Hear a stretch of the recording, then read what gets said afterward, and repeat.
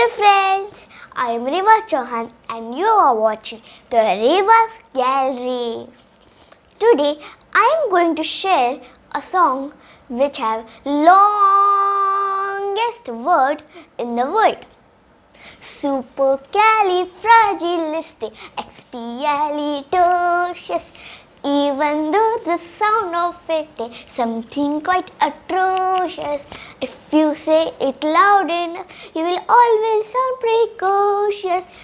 Supercalifragilisticexpialidocious. Um diddle diddle um diddle um diddle diddle um diddle um diddle diddle um diddle um diddle diddle um diddle um diddle diddle um diddle do you know that supercalifragilisticexpialidocious contains 34 letters. And it means that the extra extraordinary special thing when you feel like you are overjoyed or over happy you can express this word.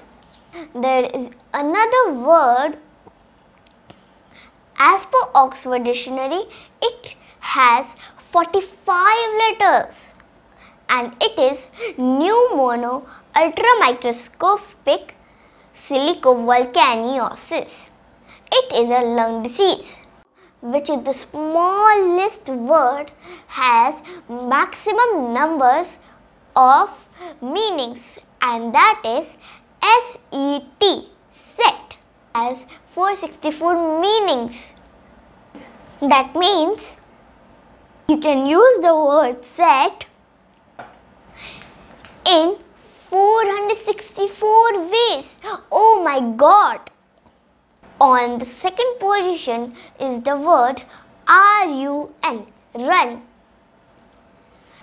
It has 396 meanings in the world. So, this is Rewa Chauhan signing off from the world of words.